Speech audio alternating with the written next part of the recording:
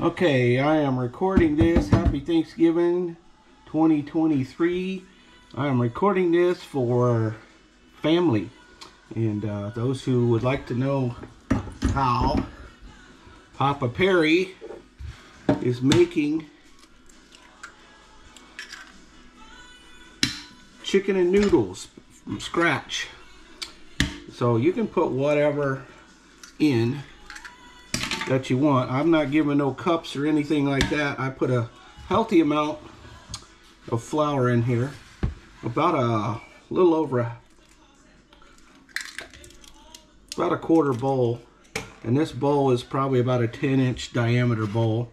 So we're just adding eggs. And what we're doing here is going to get these eggs mixed up with this flour. I've salt and peppered it and so I am the messiest egg flour maker there is.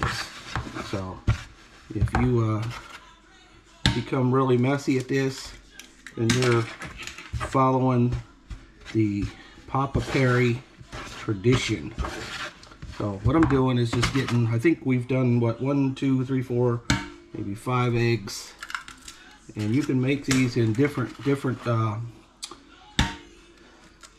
quantities. So you can do one mix it up and then do the other. So I think I've got enough eggs in here now to get my hands dirty if you know what I mean. Alright so what I'm doing right now is we're just rolling this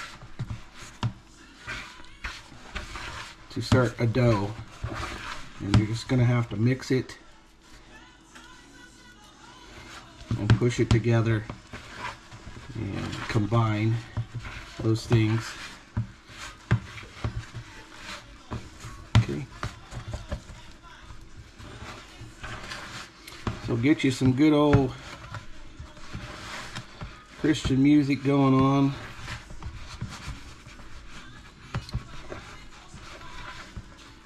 Just start bringing all this together and make you a good dough. Now on this one here, I am, since it's only us today, I'm not going to be making like two and three different ones. So you want to basically make sure you have a, a bowl of flour ready to uh, mix and blend just added some more dry flour here to start rolling this because it's a little wet. You just want to get that even roll here. And once you get this thing starting to come together, and you start being able to literally knead this, okay, it'll start coming together and you'll see now I'm getting a clump that's coming together. And again you're just going to want to roll it and push this in. Okay? And at this point I'm about ready to bring it to the counter take it out of the bowl and you can see now and you can still see the wet parts. And we're just gonna start kneading this together. Okay? So pull and we're gonna want to make sure you keep your counter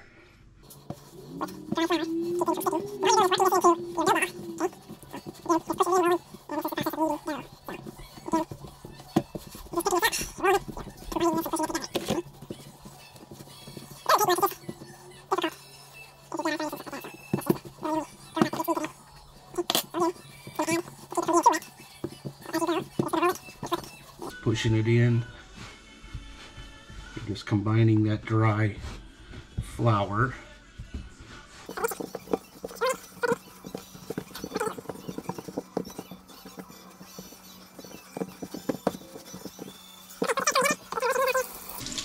And you'll dry them up.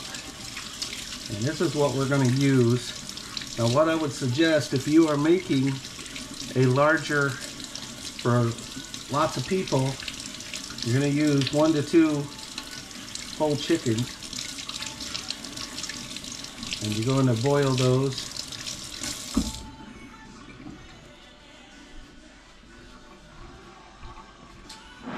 And Nicole has boiled our chicken. And what she does is she'll pull the chicken off. She'll spread it. And we have this. So once you boil that chicken, and you can get your chicken shredded. And this is going to go in with cooking the noodles. And the other key is, for the Perry recipe, is cream of chicken. Don't get the off-brands, just get the Campbell's. Make everything consistent and you'll have a consistent taste. I cannot stress that enough. So what we've done was we've poured about four, five cups of flour in a bowl. We put about five, six eggs in there and we've added flour as needed to get this dough the way it is right now. So again, having too much flour is not going to be a problem once you get this thing because you just want to keep it from sticking to your surface. So I'm going to call that good. We ended up using, I think, uh, about a half dozen eggs to about five cups of uh, flour. So this is what we ended up with. And again, dry off your hands. And then we are going to be rolling this thing up. So there you go. Set that aside. And uh, we'll be right back. Okay, we are back. Uh, we have a rolling pin. Again, we've talked about making sure your surface has plenty of flour. So we're going to start the process of rolling. And what I like to do is I'm going to get our dough almost in pizza size. So I'm gonna set that aside. So I'm just gonna take this piece, set it aside, and we're gonna work with a smaller piece here. And we're just gonna basically get this thing rolled out.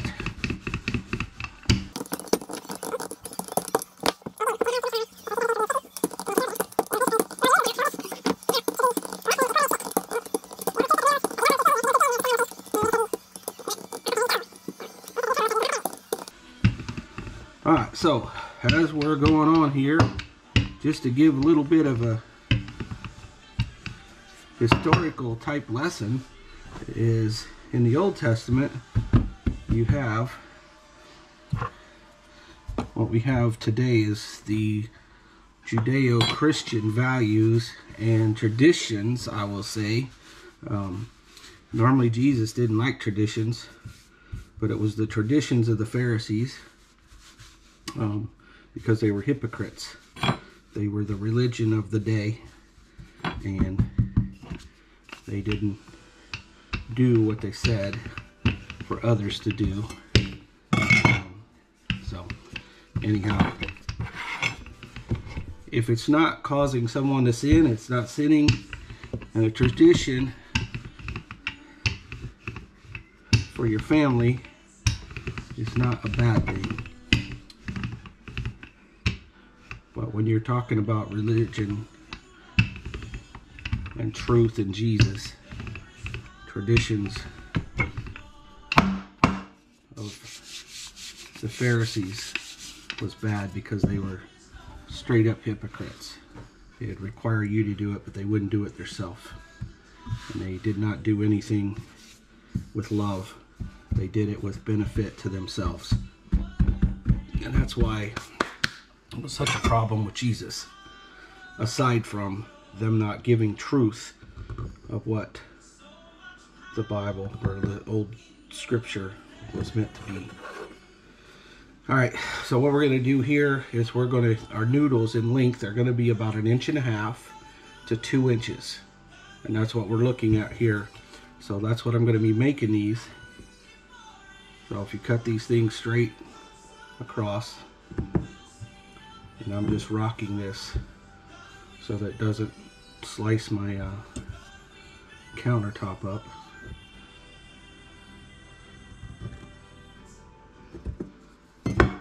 And what I'm going to do is I'm just layering these on top of each other. Okay.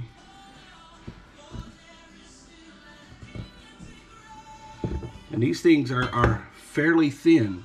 These things are going to expand. And I'll tell you, thin. Fairly thin.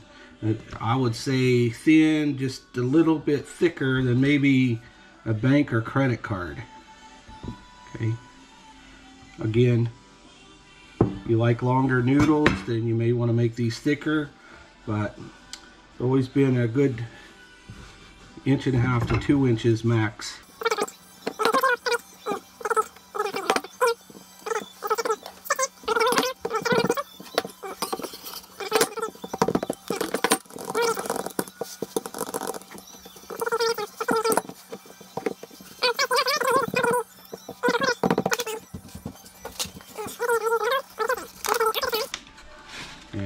This this one here is a five pounds so you're going to use about maybe up to two pounds of uh, flour to prepare these noodles. So and when I can I like to get a fresh bag not the one that's been sitting in the pantry for a month and a half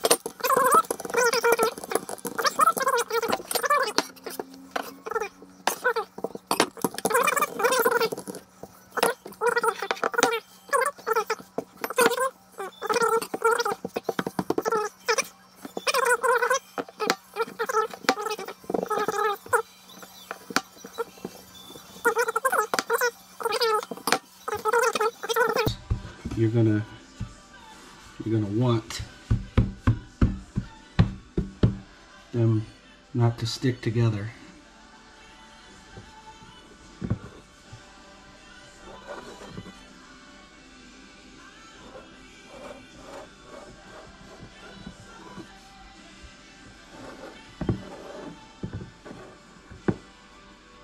So back to the tradition thing.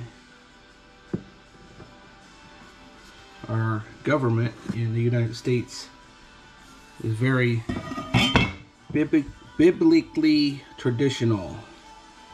And you read any of the Old Testament, you see that Abraham, the father of all nations, God blessed him. And you see that bloodlines and family meant a lot according to the scripture in the Bible because if you look at the bloodline of Jesus, it needed to come through David from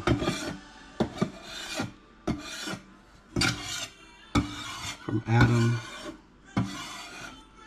would have been Seth and Cain and Abel. Cain decided Abel needed to go took his life and Seth came back to restore the good bloodline. And when we talk about the good bloodline, we're talking about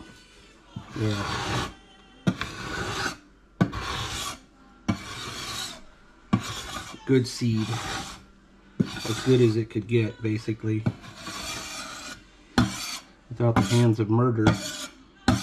And we also find that when David wanted to build a temple unto the Lord, that God told him that he had blood on his hands and that Solomon would have to build the temple. So David spent his life preparing the materials to get that done. Alright, so at this point, we're going to just start cutting some noodles. I'm going to get another pan.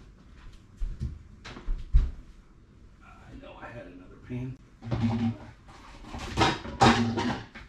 Use this one to throw the cut noodles in. Again, here you find you're going to separate these noodles And the more flour that you have in between the, the noodle layers, the easier it's going to be to separate these noodles. So you're going to want to put them in another dish, pan, pot, whatever. And I am about a quarter, a quarter of an inch. You see that to my finger. About a quarter of an inch is what I'm cutting these. And again, having enough flour is going to help when you compress these noodles and cut them. They're going to come apart better if you have lots of flour in it and they're not it's not sticky dough. So make sure you do that or you're just going to cause yourself a lot of problems when you go to separate these noodles before you drop them in the pan. So make sure you do that.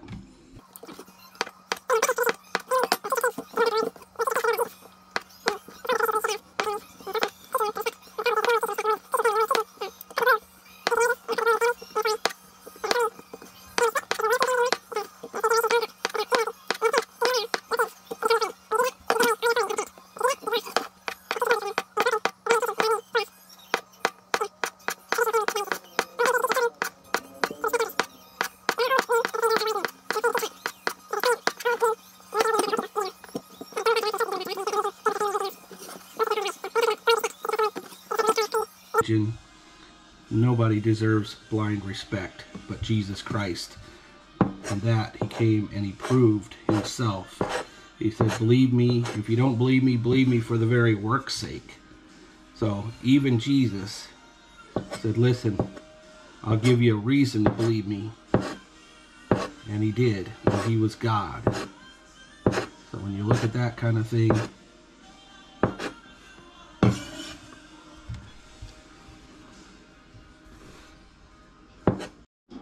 Okay, so I don't know how long that's been off, but let me reiterate the, the important point is that if your children, if you don't teach your children to respect their grandparents and respect you, no matter what you do or the decisions that you or they made, you're going to end up when they don't agree with you as their parent. What you're teaching them is that just because they don't agree with you, they do not have to respect you and you're going to pay the dividends for that. Because just an example. Did or why they did it to respect them. You just need to trust them. If you can't trust your parents and grandparents for your own good then there's a deeper issue and maybe you maybe this conversation doesn't apply to you. But the point is you have to develop that in your children. And they're going to see how you treat your parents, their grandparents, and others around you. And there is a hierarchy in the family. There is a governmental faction in the family. I don't agree that there's a governmental faction in the church outside of Jesus Christ himself being the one that we all go to. There is no other man or position that we have to be, be held, holden to in the church. Jesus came and changed all that. That was the point of him coming to do all that, to bring us back to God himself without man being an intermediary. There was one man, the Bible says, that's Jesus Christ, the man who was crucified for our sins to bring us back to God. There was no other man, be it Peter, Paul, anyone else that is in the Bible. So there was none other that is able to be a propitiation, a sacrifice for your sins outside of our Lord and Savior, Jesus Christ. And if anyone is teaching, telling you that, they are wrong and they are antichrist. What do I mean by Antichrist? Because they're not leading you to Christ. They're leading you to man and an intermediary who was never worthy, never could. If the old law would have been good enough, we wouldn't have had to have the new law. And I mean law, I mean covenant. Covenant with Jesus. And that's a blood covenant with Jesus that has taken away your sins. He died for your sins. So, if anyone tells you that you must be subjected unto any man or office or authority, they're lying to you. They have their own benefit at heart, no matter what you see or what they do or say. It is not God's intent. So, anyhow, I'm just cleaning this out. Use this for the noodles. All right. Pour our noodles back in here. And what I'm gonna do, you see some of these are sticky still.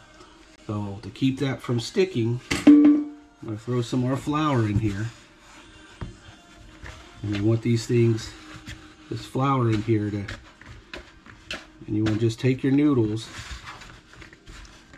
And again, if you put enough flour as you're cutting these in between the layers, and you're not going to have a lot of problems of sticking. So this here, um, you can if, if you don't think this is enough noodles, and, and you'll have to cook some, and you'll you'll eventually see that uh, these things swell up and they make a lot. So, but if you have a large crowd, you may want to repeat this process again, make another batch. Um, you're best at making batches, then you know what you end up with in your bowl. So, all right, I hope you enjoyed the lesson and the uh, instruction on how to make these noodles. We will be boiling the broth the chicken. We will be putting the cream of chicken in there, broth and then we will be putting the chicken in there and then we will once that gets boiling we'll be dropping these noodles and we'll come back and do that when we are ready to do that. Um, you could make these the night before. You can lay them out on the table. Um, do they get better? I think they do. Uh, you just put some newspaper out or put some um, just freezer paper or whatever across your table. Lay these out separate them and it'll be delicious to drop in. So all right thanks for watching. I'll talk to you in a bit